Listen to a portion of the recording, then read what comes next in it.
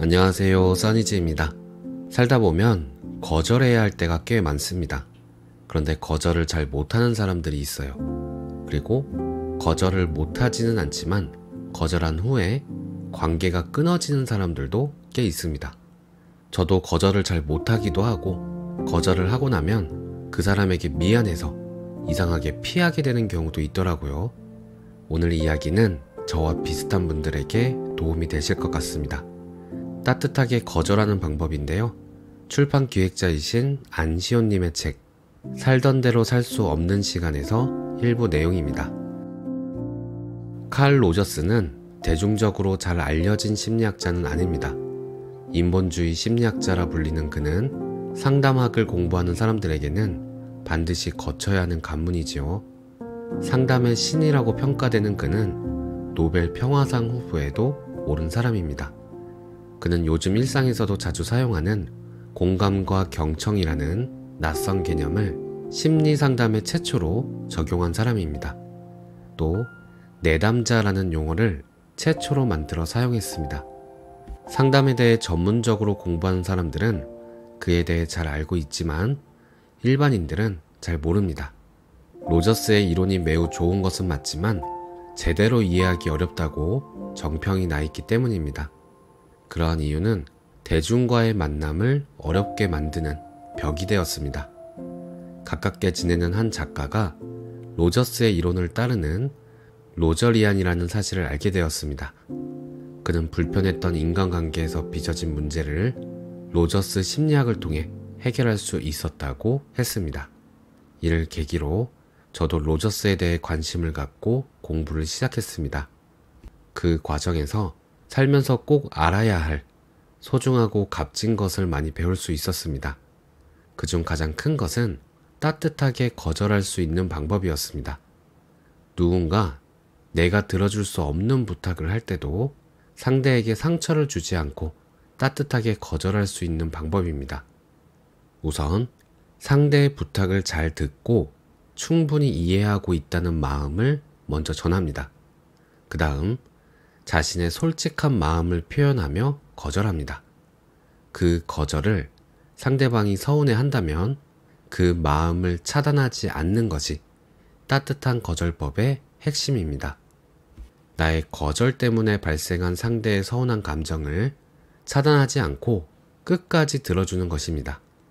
우리의 관계가 불편해지는 이유는 상대의 부탁을 들어주지 않아서가 아니라 그 때문에 서운하고 불편해진 상대의 감정을 차단시켰기 때문이라는 것을 알게 되자 지금까지 해왔던 방식을 돌이켜보게 되었습니다. 거절해야 할 부탁을 해올 때는 상대의 전화를 가급적 빨리 끊고 싶었습니다. 상대의 부탁을 거절할 수밖에 없는데 오래 이야기하는 것 자체가 불편했기 때문입니다.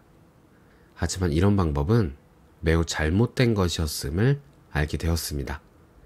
로저스 덕분에 거절에도 따뜻한 거절이 있고 차가운 거절이 있다는 것을 깨닫게 되면서 한 가지 오래된 기억이 스쳐 지나갔습니다.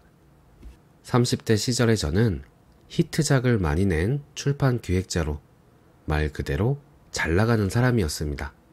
청소년 시기에 학교 생활보다는 문학 수업에 몰두했기에 그때 문학 동아리를 같이 했던 선 후배나 동료들과의 추억에 특별한 애정을 갖고 있었습니다.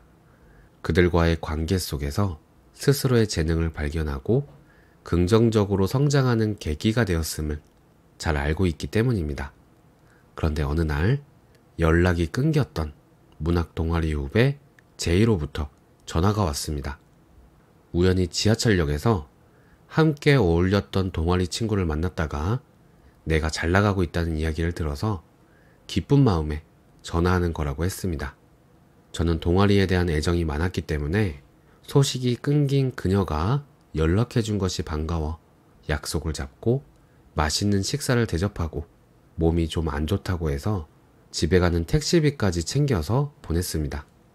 그녀는 직장 생활을 하다가 몸이 안 좋아서 잠깐 쉬고 있다고 했는데 뜬구름 잡는 이야기만 하다가 가서 기분 좋은 만남은 아니었습니다. 그녀와 헤어지고 나서 생각해보니 아무래도 그녀가 사이비 종교에 빠져 있는 것 같았습니다. 적극적인 성격에 상당히 똑똑했던 애로 기억하는데 왜 이렇게 되었을까 하는 생각이 들었지만 그녀에 대해 오래 생각하진 않았습니다. 그러다 몇 개월이 지난 후 그녀가 전화를 해서는 돈을 빌려달라고 했습니다. 지금으로 치자면 50에서 100만 원쯤 되는 금액이었던 것 같습니다. 언니, 내가 돈이 좀 필요해서 그런데 돈 좀 빌려줬으면 해서. 왜 나한테 그런 이야기를 하는데? 내가 사람들하고 연락 끊고 산 지가 좀 되었거든. 그런 부탁할 만한 사람이 없어서 그래. 나도 네가 연락 끊었던 사람이잖아. 다른 사람과는 다 끊고 나하고만 연락했던 것도 아니고. 그렇긴 하지. 그런데 상황이 좀 급해서 내가 다음 달에 아이를 낳아야 해. 지난번 언니를 만났을 때는 배가 불러오기 전이라 아이 가졌다는 이야기를 안 했어. 어이가 없었습니다. 몇 개월 전 만났을 때는 전혀 하지 않았던 얘기였거든요. 너 지난번 만났을 때 결혼 안 했다고 했잖아. 결혼 안 한 것은 맞는데 아이는 낳아야 해. 제이야, 나 지금 매우 황당해. 나는 네 인생이 어떻게 흘러가고 있는지 전혀 알지 못하는 상태에서 돈을 빌려줄 수는 없어. 내가 너를 이해할 수 있을 때 다시 연락했으면 해. 지금은 도저히 너를 이해할 수가 없으니까. 그래도 돈을 빌려주면 안 될까? 제이야, 너 내 말 정말 못 알아듣는구나. 전화 그만 끊자. 그 이후로 제이와의 인연은 완전히 끊겼습니다. 동아리 사람들에게 알아보니 제이의 연락을 받은 사람은 저밖에 없었습니다. 모두들 제이의 소식은 모르고 있었습니다. 그녀가 주변 사람들과 연락을 끊고 산다는 것은 주변 사람들에게 이해받지 못하는 방식으로 살고 있다는 것을 자기 스스로도 잘 알고 있다고 받아들였기 때문에 그녀의 안부가 더는 궁금하지 않았습니다.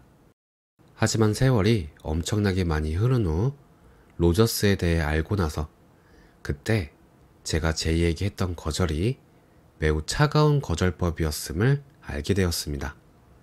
로저스가 제 마음을 강렬하게 움직였던 이유는 어떻게 사는 게 따뜻하게 사는 것인가? 라는 질문에 대해 구체적인 가이드라인을 주었기 때문입니다. 로저스는 그런 경우 잠깐이라도 상담가로 변신할 것을 제안합니다. 로저스를 만나기 전에 저는 상담이란 문제에 대한 대안의 방향 정도는 져야 하는 것이라고 잘못 생각했습니다. 그러니 누가 저에게 상담을 요청해 와도 고민의 주제에 대한 선별부터 먼저 했습니다. 아, 그래? 그건 내가 대안을 줄 수 있는 고민이네. 이야기해도 좋겠어. 아, 그건 내가 대안을 줄 수 없는 고민이야. 나한테 이야기해봐야 답이 없어. 로저스에게 배운 것은 사람을 이해하는 방식입니다. 사람을 이해하기 위해서는 그 사람의 세계관 속으로 들어가서 그의 눈으로 그의 세계를 보는 시간을 잠깐이라도 가져야 합니다. 그 시간을 갖지 않고 그 사람을 이해하는 것은 불가능하다는 의미입니다. 예전에 똑똑했던 아이였으나 사이비 종교에 빠졌고 결혼은 하지 않았지만 아이를 낳아야 하는 상황이라면 우선 그녀의 사연에 대해 들어줄 필요가 있었습니다. 하지만 그때 제 마음속은 사이비 종교에 빠진 인간들은 일단 민폐 덩어리야. 피하는 게 최선이야. 결국 갚지도 않을 돈이나 빌려달라고 하잖아. 라는 생각이 가득 차 있었기에 애초에 그녀의 이야기를 들으려고 하지도 않았습니다. 사이비 종교에 빠지는 이유는 외로움과 인정 욕구가 가장 큽니다. 외로움을 해결해주고 인정 욕구가 충족되었을 때 인간은 그 대상에 대해 과장된 감정을 품게 됩니다. 따뜻한 삶의 방식에 대해 새롭게 눈뜨게 해준 로저스는 삶에 대해 이렇게 정의합니다. 삶은 기껏해야 아무것도 고정되어 있지 않은 부유하며 떠다니며 변화하는 상태일 뿐이다. 또 인간에 대해서는 이렇게 정의합니다. 인간은 자신의 가능성을 무한히 실현해 가는 자이고 그렇게 실현하는 경향성을 가진 자. 로저스는 인간이 가지고 있는 그러한 본질적인 경향성을 막거나 왜곡시킬 때 심리적 병증이 발생한다고 설명합니다. 로저스는 인간이라는 존재를 참 따뜻하게 보고 있습니다. 마음의 병을 앓고 있는 사람들이 빠른 속도로 늘어나는 모습을 보면서 로저스가 남긴 말의 깊이에 다시 한번 감탄합니다. 로저스가 말한 인간은 자신의 가능성을 무한히 실현해가는 자라는 정의는 우리 모두가 자신의 삶에서 구현하고 싶은 목표입니다. 그래서 우리는 경쟁에서 승리하고 싶어 하고 돈을 많이 벌기 위해 노력합니다. 인간이 자신의 가능성을 무한히 실현하고 있다는 것을 보여주는 척도는 역시 부와 성공이기 때문입니다. 하지만 우리의 생각은 거기서 삑사리를 냅니다. 인간은 자신의 가능성을 무한히 실현해가는 자일 때 인간은 그냥 인간이 아니라 자신의 영성을 자각하며 사는 인간입니다. 우리는 주어진 인생을 따뜻한 사람으로 살다갈 가능성을 품고 출발합니다. 하지만 돌이켜보면 따뜻함보다는 차가움이 많은 인생을 사는 이유가 여기에 있습니다. 자신이 영성이 있는 사람이라는 사실을 자각하지 않고 사는 데다 자각하는 것조차 원하지 않기 때문입니다. 우리는 사는 동안 서로의 부탁을 들어주지 못하거나 들어줄 수 없는 경우가 종종 있습니다. 하지만 이런 경우에도 따뜻함을 잃지 않을 방법이 있다는 것은 매우 다행스러운 일입니다. 이러한 따뜻한 거절법을 가르쳐 준 로저스는 자신이 알게 된 것을 일상의 삶에 꾸준히 적용시켰습니다. 그 덕분에 탁월한 업적을 지닌 학자에 그치지 않고 살면서 관계를 맺었던 많은 사람들에게 참 따뜻한 사람이었다는 기억을 남긴 성공적인 인생을 살 수 있었습니다. 오늘 내용은 여기까지입니다. 오늘도 삶에서 마주하는 모든 순간에 가슴을 열고 감사와 사랑을 발견하겠습니다. 오늘도 평온한 하루 보내세요. 감사합니다.